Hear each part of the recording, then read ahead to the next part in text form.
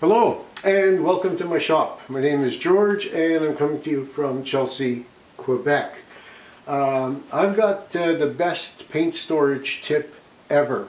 So by now you've painted a few rooms and you know how to buy paint. You'll buy just enough to do the job and then maybe have um, a cup or a pint left over for touch-ups in uh, a couple of years.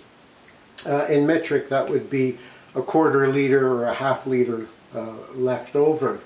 Uh, but that's not my uh, best tip. You'll also want to store your paint up high and out of the way because you probably won't need to access it for another couple of years.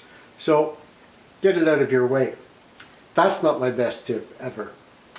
Here's my best tip.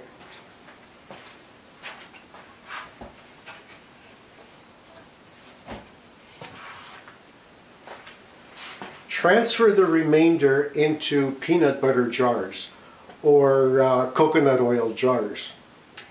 Uh, you can see right away that there are tons of benefits. Now many of you are already doing this. Uh, some of you who aren't doing this have instantly seen all the benefits. Uh, but if you'd like to hear what they are, what some of them are, I'll just spend the rest of this video talking about the benefits of storing your paint uh, this way. So one of the lesser ones is that there is going to be less air in the jar to uh, cure the paint over time.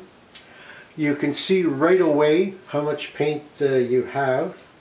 You're not going to get any rust dripping into the paint because the lids are plastic, uh, they're not metal. You can write whatever information you like uh, on the jar uh, as long as the color is light.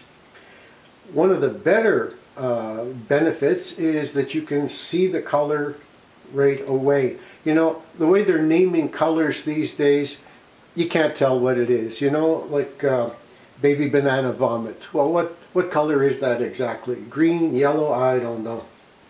Okay, now the wide mouths that you get with peanut butter jars and some other products uh, let you paint straight out of the jar.